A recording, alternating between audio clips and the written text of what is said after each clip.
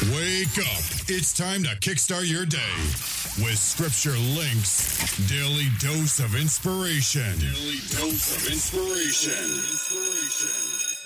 Good morning and welcome to this brand new day. This is Scripture Links Daily Dose of Inspiration for Tuesday, February 13th, 2024. And today, today, there's two things today I'm really excited for. Um, today is National Pancake Day. I like pancakes, especially if they have chocolate chips in them. You know, but it's also, and I know I'm going to get the pronunciation of this wrong, but it's also Fashnot Day. I remember growing up, it was always referred to as Donut Day, so I'm going to leave it as Donut Day. So only if they can make a donut into a pancake, that would be good. But anyway, get your pancake today, get your donut today, and celebrate celebrate this holiday. Today we're going to finish up our series uh, on the phrase "one thing," and I encourage you to go back to Friday's episode and yesterday's episode because we looked at one thing David desired on Friday and saw how we need how we need to apply that to our life, and we should be striving for the same thing. And then yesterday we we talked about Mary and Martha, you know, the sisters of Lazarus, and how Mary chose to sit at the feet of Jesus, where Martha chose to remain busy. And we're going to see the one thing that we should be desiring or the one thing that we should be doing in that situation. And today we're going to take a look at Philippians chapter 3, verses 13 and 14.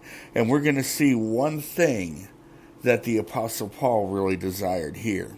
He says, starting in verse 13 of Philippians chapter 3, Scripture says, Brethren, I count myself, I count not myself to have apprehended. But this one thing I do, forgetting those things which are behind, and reaching forth unto those things which are before, I press toward the mark of the high the prize of the high calling of God in Christ Jesus.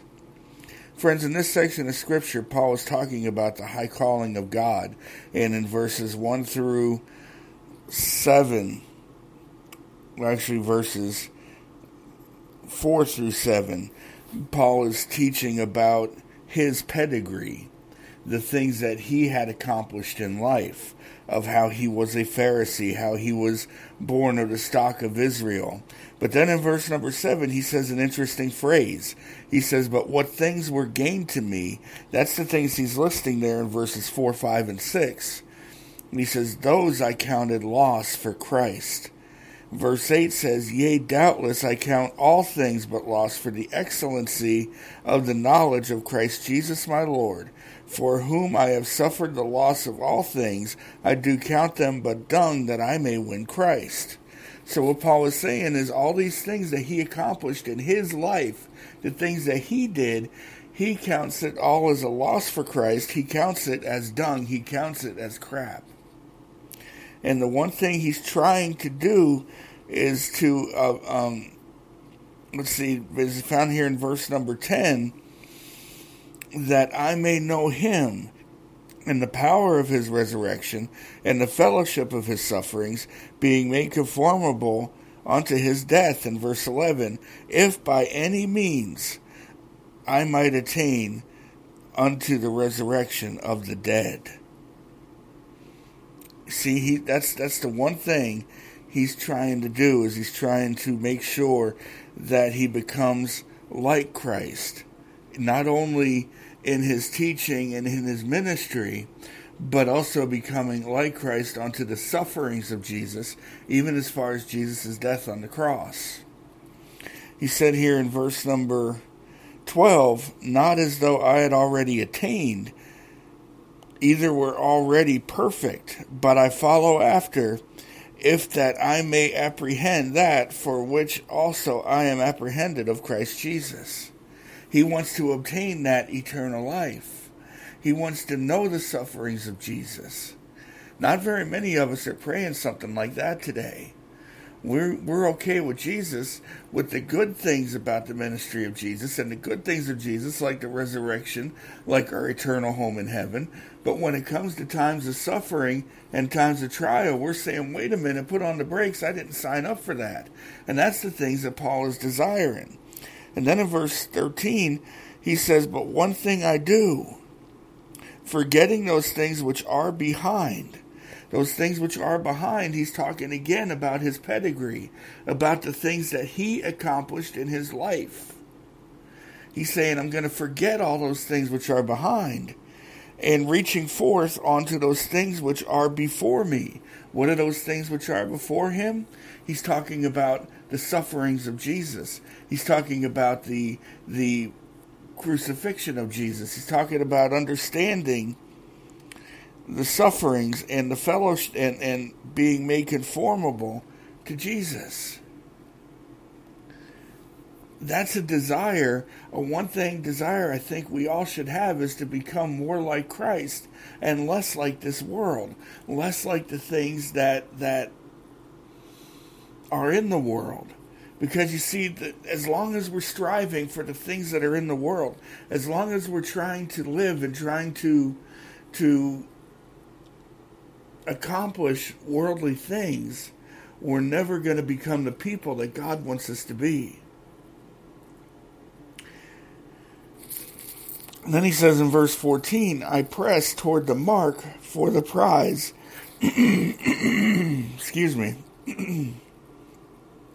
I press toward the mark for the prize of the high calling of God in Christ Jesus.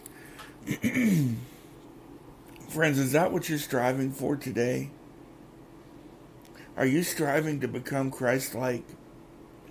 You know, if we're going to strive to become like Jesus, then that means we're going to have to go through the strugglings and the trials and everything that Jesus had went through. We can't have Jesus without his without his sufferings. And that's something we need to strive for no matter how hard it hurts. That's something we need to strive for. You know, you can read through the book of Acts and you can see all the things that Paul went through for Jesus. But never once did we see him question his calling. Never once did we see him talking bad about Jesus. Never once did we see him getting tripped up in his faith becoming like Jesus, going through the trials, going through the temptations, going through the sufferings of Jesus is the only way that we're ever going to be made conformable to his death and be ready for the resurrection. I know there's a lot of teaching going on right now, and I just happened to have seen some on Facebook um, just this morning as I'm as I'm recording this. There's a lot of teaching going around that says all you got to do is believe. All you got to do is believe. Well, friends, belief in itself is not enough. Because in James chapter 2, I think it is, he says, even the devils believe, or even the demons believe. But where are they at? Belief isn't going to make it. It's when you go through those times of suffering, and it's when you allow God to mold you and shape you and develop you into the person He wants you to be. Are you ready to allow God to do some work in your life? Father, I just thank you for the for the word that we had today, Lord, and I thank you for the example that we have in the life of the apostle Paul of how he he desired so much to be like Christ that he was willing to give up everything that he had accomplished. And Father, I pray that you give us the same kind of spirit that Paul had. Help us to stand up in those times of trial. Help us to stand up in those times that we're suffering for Christ so that we can develop that rock solid faith in you. I ask these things in the name of Jesus. Amen. Remember, get into God's Word and allow God's Word to get into you. And then share that Word with someone today have a blessed day. Hello, Hello, this is Heaven. May I help you? Uh, yeah, I think I found a flaw in your manual. you mean the Bible? Yes, you know that section that says, So in everything, do unto others as you'd have them do unto you? Matthew chapter 7 verse 12? Sure. Now, when you say everything, does that mean everything, or are there exceptions? What is it about the word everything that you don't understand, sir? Well, I have this really obnoxious brother in law, and I would love to just take some chicken feathers and some hot Uh, sir. chocolate syrup and. Sir? Oh, I'm sorry. Um, surely there's got to be an exception to that rule. Trust me, sir. How about a loophole? There's a very good reason why there's no exception in that section. I don't think whoever wrote that ever met my brother in law. Regardless, sir, that section is a part of God's standard for how we are to treat others. We can't apply His standard only when it's convenient. It's easy to think our circumstances are unusual, but are you willing to obey God even when it's tough? Another message from Lifeline Productions, the comic strip of radio at lifelinepro.com.